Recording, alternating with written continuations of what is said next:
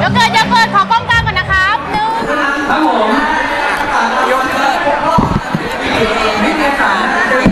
พีพีเคก็เหมือนเดิมแรกๆเป็นยังไงตอนนี้ก็ยังเป็นอย่างนั้นค่ะก็ยังไม่มีอะไรเปลี่ยนแปลงล่าสุดพี่พีเคบอกว่าพร้อมแล้วจะแต่งแล้วเออหนูยังไม่พอยังติดอยู่ที่อะไรอยู่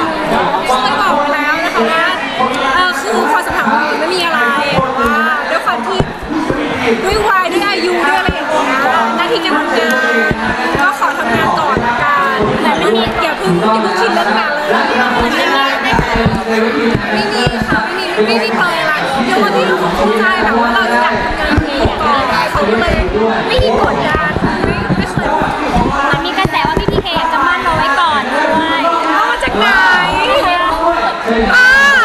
เขามียังไม่รู้เลยมีเปรยๆบ้างไหมคะว่าอยากหมั้นไว้ไม่มีค่ะไม่มีเลยไม่ไม่มีทั้งคุณแม่ไม่มีทั้งพี่พีเคไม่มีใครพูดเลย เขาได้ไปเกินๆกับทางครอบครัวเราบ้างหรือยัง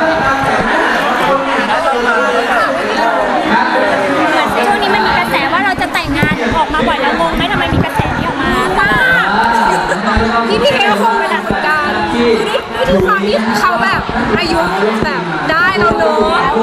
หรืออาจจะคนเชียร์พี่เขาเยอะอะไรอย่างเงี้ยก็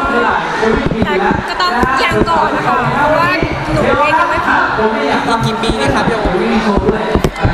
ก็ต้องอีกสักพักอะเนาะเพิ่งเพิ่งมาทำงานแบบนี้เองจริงๆเดี๋ยวเพิ่งทำงานได้แค่แบบสองปีเองก็ต้องต้องอีกสักพักหนึงเวลาไหนนะไ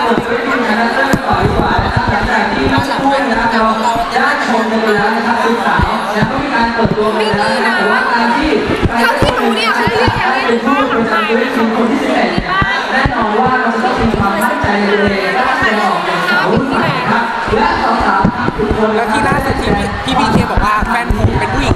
ในโลกเนี่ยเออเรารู้สึกยังไงบ้างรู้สึกยังไงหรอ ก็ดีใจ ก็ถ้าแบบ แฟนใครคิดอย่างนั้นก็คงดีใจเนาะ